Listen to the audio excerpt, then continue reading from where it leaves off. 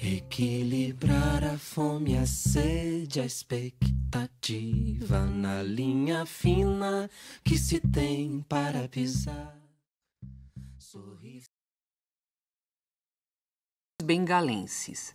Vim de longe, da Ásia. Estou em grande quantidade na Índia. Sou conhecida como uma árvore imortal, porque lançando novas raízes, minhas bengalas, vou me rejuvenescendo com novos troncos.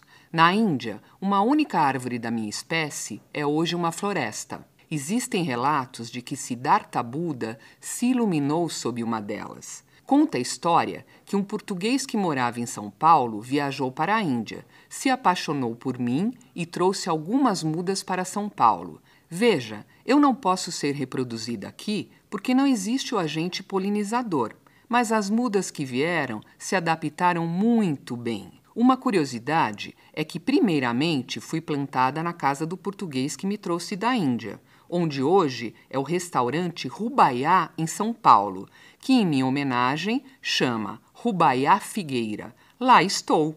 Mas outras mudas foram doadas à prefeitura. Você pode me ver no Parque do Ibirapuera, no Parque da Luz, no Largo da Memória. Veja bem, só posso ser plantada em lugares com muito espaço.